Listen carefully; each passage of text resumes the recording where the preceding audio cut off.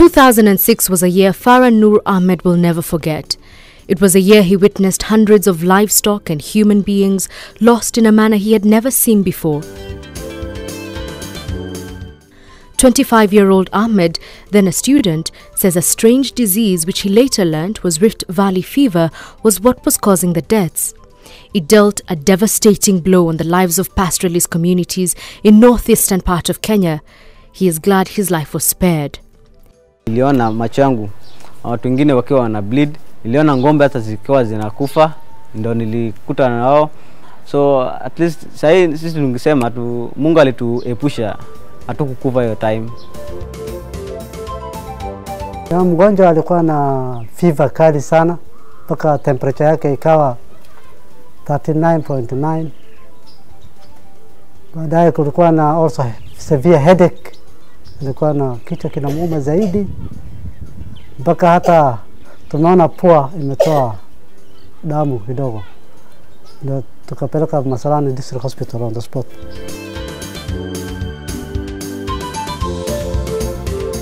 In mid 2006, several unexplained fatalities associated with fever and generalized bleeding were reported in Garissa, a border town situated in the northeastern part of Kenya.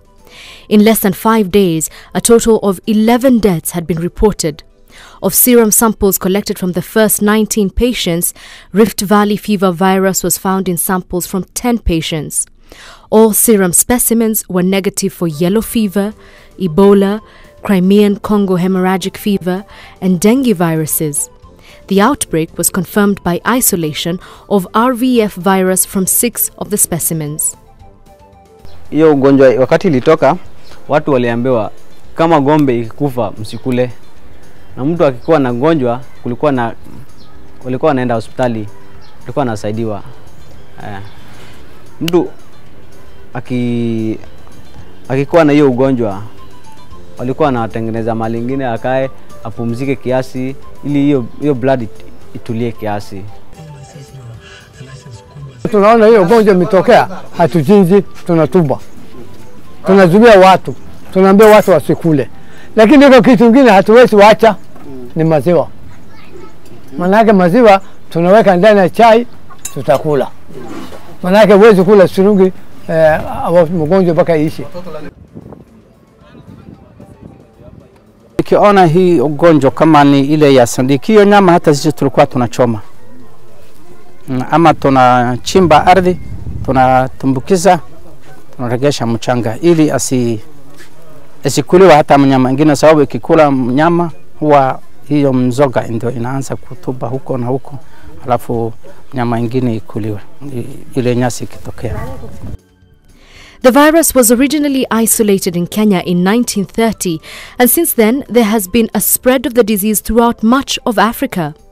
Worrying is the fact that humans can be infected with RVF virus from bites of mosquitoes and other vectors that have fed on animals infected with RVF virus or through contact with viremic animals, particularly livestock. Reports of livestock deaths and unexplained animal abortions in northeastern province provided further evidence of an RVF outbreak. During that time, there were heavy rains, and you saw you see Jara is a lowland area where most of the water accumulate after rainfall. So there was a, a bloom of uh, houseflies, especially mosquitoes, and then this resulted in the in the in the, in the disease, which went ahead and affected humans. And some animal, a lot of animals and some humans died. ulianzia wakati wa mvua mingi, mlianzika hiyo nini hiyo ugonjwa wa Rift. Ikiwa imenyeshewa mingi, uh, ardhi amefuruka, ukifuruka saa hiyo ina natoka hiyo gonjo. Kwanza anaanza ng'ombe na mbuzi, huwa mbuzi mingi kwanza. Baada ya hiyo mbuzi we ukikamua kukula nyama yake, binadamu inaku Rift Valley fever is a viral zoonotic disease affecting domestic livestock, human, and wildlife. It is a vector borne disease transmitted by specific types of mosquitoes. Rift Valley fever is interesting because it is a novel disease, one that is poorly understood by pastoralists and local level policy makers because of long periods between outbreaks.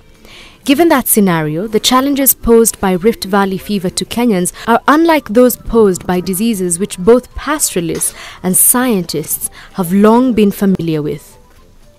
There are, however, interesting similarities between mad cow disease, the problem of mad cow disease in Britain and Europe, and Rift Valley fever in Kenya and East Africa more generally. Both are diseases about which our scientific knowledge is incomplete, and these are also diseases that are difficult to predict and difficult to control, and the consequences of their outbreaks are often difficult to predict and difficult to control. It is for this reason that STEPS Centre UK, in partnership with the Centre for African Bio Entrepreneurship, a knowledge sharing and learning NGO in Kenya, undertook a three year study in Ijara and Tana River districts in northeastern Kenya, a region that was hard hit by the Rift Valley fever in 2006 and 2007. The study examined the challenges posed to Kenyans by RVF with a view of trying to identify and appraise alternative ways of responding to the challenges of Rift Valley fever. The objectives of the study were three. One, to look at the evolution and the characteristics of policy process in response to this particular disease. But as you know, formulating policy is one thing, implementing policy is a totally another thing. So we also looked at how does the policy play out in terms of implementation.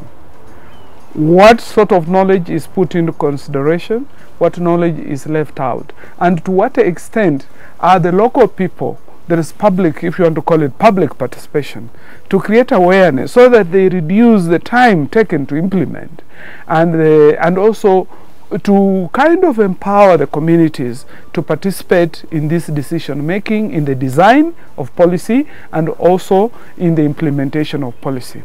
And the three was to encourage a conversation because sometimes scientific knowledge emanates from somewhere and relegates indigenous knowledge or knowledge of the people.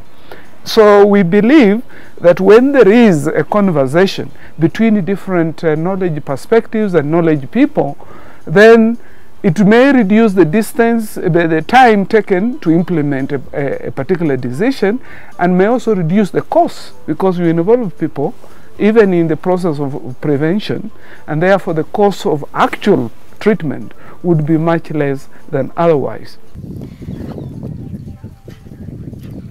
The empirical focus was on the dynamic relationships between the perspectives of different groups, including government, policymakers, expert advisors, public officials, and rural pastoralists.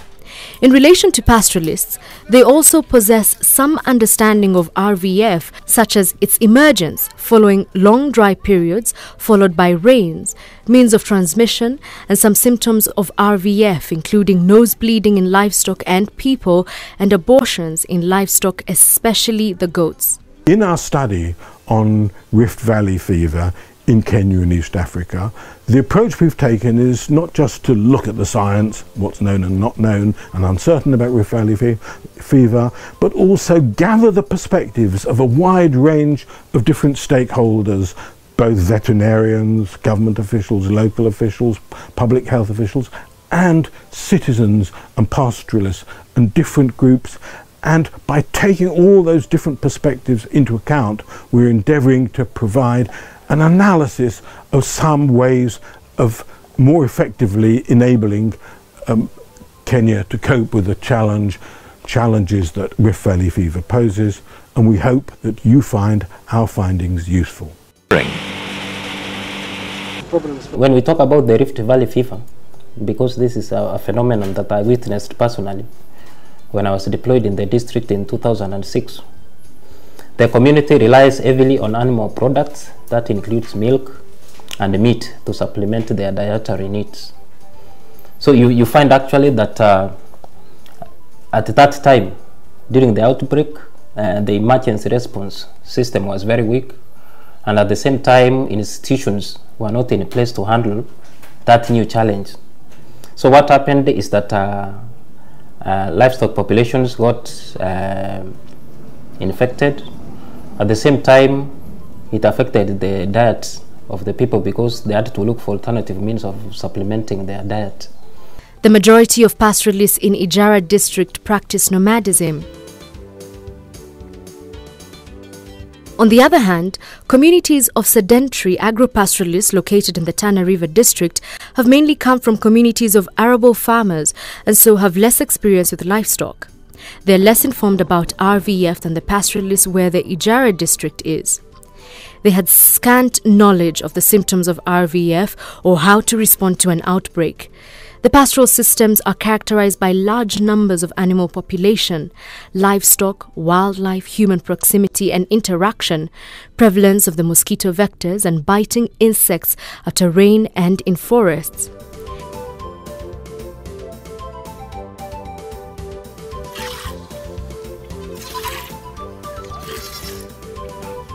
I think most of this interaction is the source of uh, diseases. Because when they meet for water, then they interact. So when the human beings take that water, maybe it will have been infiltrated by these animals, animal feces. So there is need to separate uh, water pans for human use and for, for, for animal use. I think that is the, the biggest challenge we have here. Close collaborations between veterinary services and public health sectors are essential for the effective prevention and control of RVF and other zoonoses. The ministries responsible for livestock and health have been controlling previous outbreaks of RVF in a reactive manner. However, in recent years, a One Health or OH approach has been initiated to manage endemic and emerging epidemics of zoonotic diseases. This is a result of recognition of the need for human, livestock, and wildlife experts to work collaboratively in preventing and controlling these diseases. In an OH approach, Kenya established the Zoonotic Disease Unit, or ZDU, a collaboration between the Ministry of Agriculture, Livestock, Fisheries, and the Ministry of Public Health for better prevention and control of zoonotic diseases. Uh, the control options that were mitigated, they, were initiated by the government after the disease now, now from, from animals, Rift Valley had gone to Nautic and it had affected humans. That's when the government came in and it, it was controlled by the help of the national government and the district veterinary department. Outbreaks of RVF in animals may be prevented or controlled by a sustained program of animal vaccination. Both modified live attenuated virus and inactivated virus vaccines have been developed for veterinary use. Only one dose of the live vaccine is required to provide long term immunity, but the vaccine that is currently in use may result in spontaneous abortion if given to pregnant livestock, posing a vaccine technological challenge. Kwa miaka tano hatujaona naitwa ambao ng'ombe na watu wote wanakufa. Kuna mgonjwa wakipata huyo mtu huwa wanatoa damu kwa hapa pua na mdomo, inakufa watu haraka. Ingawa Wasomali wanapenda wanyama, wameona wanyama wanakufa wana kwa house wana tulikuwa tunaishi pamoja lakini tuka avoid as we health, uh, health workers wanyama waweke separate na binadamu wakae mbali na wanyama. Livestock provide nomadic pastoralists not just with sources of protein in form of meat, they also act as a primary source of monetary income. In the event of an officially confirmed outbreak of RVF, the pastoralists not only lose their access to export markets, domestic movement restrictions inhibit their ability to access domestic markets, and consequently, they incur income losses. During and after the 2006 RVF outbreak, many agencies and local NGO and international invested heavily in training and awareness raising, especially on hygienic slaughtering. kuna Muta Veterinary na Muta Health. Huwa mambo ya afya wao ndio wanasimamia. Ukiona kama kuna magonjwa fulani, hao ndio wata, wataangalia kama kama yani hii kitu haiwezi kulika na binadamu inatupa huko. You see, and when you open, we expose this. You can even see if there is some cuts or swollen or sites of injection, if the cow was given injection or the animal, and then after that, you can make incisions. First incision, you come, you there this lymph node this prescabula. The, the stabs in Ijara were too little to to require, and then the the the community they could not believe if, if this is a Rift Valley. So we were telling them after getting the information this is Rift Valley, they were saying no, we have not heard of Raja disease. If it is eating, we can eat our meat and drink our milk. So it was so difficult to educate. It was so difficult to educate these people so, so that they can come to realize if this, uh, this is a deadly disease. During an outbreak of RVF, close contact with animals, particularly with their body fluids, either directly or via aerosols, has been identified as a most significant risk factor for RVF virus infection. In the absence of specific treatment and an effective human vaccine, raising awareness of the risk factor of RVF infection as well as the protective measures individuals can take to prevent infection or transmission is the only way to reduce livestock to human infection and deaths. The loopholes that we have found out from this study are that despite the fact that the pastoralists have been trained on use of protective uh, clothing during slaughter process, some of them are not practically uh, uh, implementing that. And uh, for that reason it poses a risk to them in the event that the outbreak occurs. For others uh, who are still using milk, uh, the study shows that not all of them are using uh, boiled milk and that exposes them to dangers in the event of Rift Valley fever outbreak. There are several risk factors that predispose RVF infections. For example, in the dry season, grazing area that acts as fallback grazing areas, there are more wildlife than livestock, which predisposes them to high viral multiplication and infections between wildlife and livestock. The wildlife is more resistant than the domestic animals. For example, sheep are more vulnerable than cattle. There are increased interactions between wildlife and animals during the dry period in fallback grazing areas. The grazing areas and watering points are changing. There is also a decrease in water point bodies. There is evidence of increasing RVF risk factors and changing dynamics of the disease ecology, such as climate change, effects that have resulted in increased mobility of people, livestock, and wild animals. Therefore, communication and collaboration among the veterinary, human, and wildlife health communities is crucial in surveillance of zoonotic diseases. Tandiki jambo moja tu anafanya kama hiyo uh, ugonjwa inazidi katika sana sana anatokanga katika nini za ya msitu. Satifly akikula gombe eh, mbuzi sana e, lazima ije na ikikuja natakiwa bila bado kuja, ikipata ujanjo ya kujanja hiyo watu itakuwa faida sana na itakuwa itakoma itasimama. it takes a lot of time for us to trans- to refer our specimen up to Nairobi. So if we could be having somewhere like in Garissa, that's a bit near, and we can get the results very fa- very fast. Pastoralist production systems show that pastoralists and agro-pastoralists play an important role in responding to RVF outbreaks and in reducing the potential for spread of the disease. But as technical and scientific experts focus more on implementation of officially planned responses such as vaccination of livestock, the role of pastoralists and farmers is muted.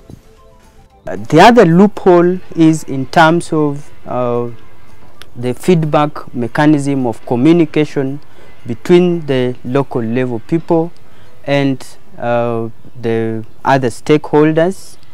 Because seems that there is a missing link between these uh, different categories of people in terms of how they communicate information about Rift Valley fever.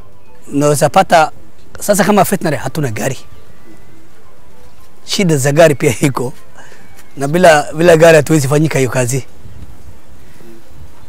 kwa sababu leo mafugo ako malishoni kule wanakuwa na shida, wengine ofisi ako dawa, utaenda namna gani? Abdullahi, hakuna namna ya kuenda kupeleka hiyo dawa huko, na hiyo dawa inatumia nini? Inatumia ice.